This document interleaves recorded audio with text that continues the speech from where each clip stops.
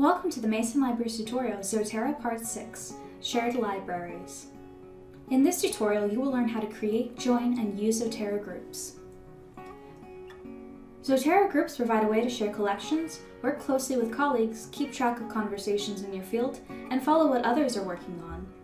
There are two ways to create Zotero groups. The first way is by clicking on the New Library icon and choosing New Group. You will then log into your account. The second way involves going to Zotero.org and logging into your Zotero account. Click on the Groups tab and then select Create a New Group. Now enter a name for your new group. There are multiple privacy options depending on the needs of the group. Private groups allow members to collaborate without a public Zotero listing. Only group members and invited users can see this page. This group type is perfect for class projects.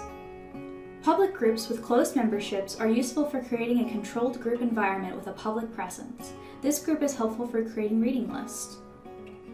Public groups with open membership are helpful for crowdsourcing resources.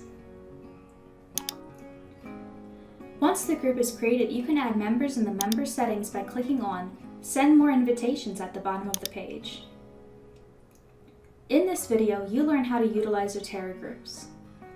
For additional help with Zotero, attend one of the library workshops by looking for class offerings at library.gmu.edu slash workshops. Thank you for watching this video. If you have other questions, please refer to our ever-expanding How Do I page or use our Ask a Librarian service.